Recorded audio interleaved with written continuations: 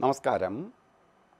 എല്ലാ N T V പ്രേക്ഷകർക്കും നിങ്ങളുടെ ഇന്ന് എന്ന പ്രോഗ്രാമിലേക്ക് സുസ്വാഗതം.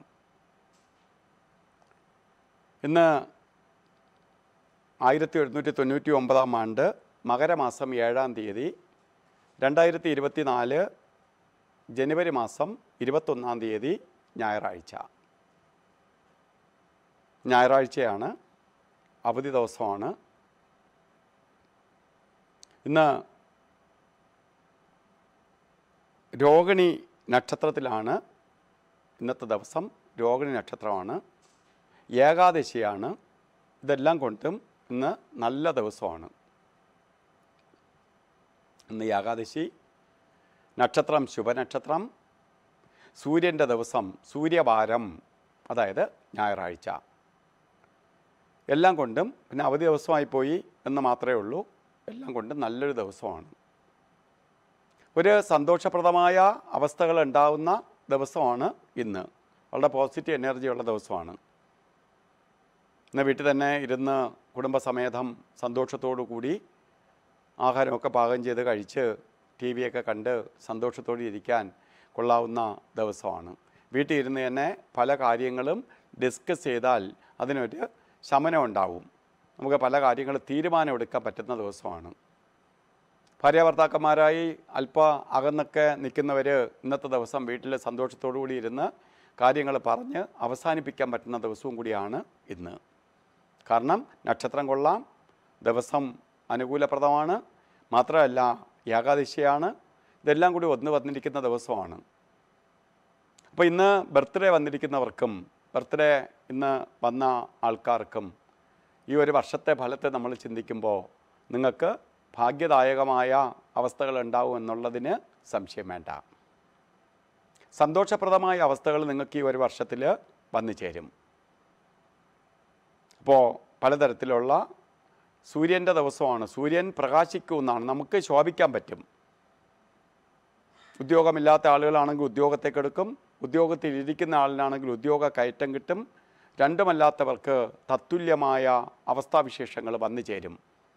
അപ്പോൾ സന്തോഷപ്രദമായ ഒരു വർഷമായിരിക്കും നിങ്ങൾക്കെന്നുള്ളതിന് സംശയം വേണ്ട. ഇന്ന് നമ്മൾ അമ്പല ദർശനം ചെയ്യുന്നവർ ഇന്നത്തെ ദിവസം അമ്പല ദർശനം ചെയ്യുമ്പോൾ ശിവൻ കോവിലിൽ പോവുക. ശിവക്ഷേത്രത്തിൽ പോവുകയും ഭഗവാന് ജലധാര കൂവളമാല അതുപോലെ അർച്ചനയൊക്കെ നടത്തുന്നത് വളരെ നന്നായിരിക്കും. വളരെ പുരോഗതിക്കിടവരികയും ചെയ്യും. സാമ്പത്തിക മേന്മയ്ക്കിടവരും.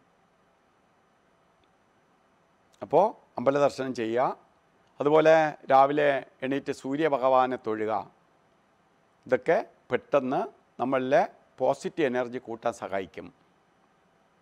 ഇന്ന് നമ്മൾ പുറത്ത് ഇറങ്ങി ഇന്ന് ഞായറാഴ്ചയാണ് സുഹൃത്തുക്കളെ വീടുകളിലോ അതുപോലെയൊക്കെ അങ്ങോട്ടും ഇങ്ങോട്ടും യാത്രയൊക്കെ ചെയ്യാൻ എന്തെങ്കിലും ആവശ്യങ്ങളായിട്ട് പോകാനും സുഹൃത്ത് ബന്ധങ്ങൾ സ്ഥാപിക്കാനും ഒക്കെ പോകുന്നവർ വസ്ത്രധാരണത്തിൽ ശ്രദ്ധിക്കുക.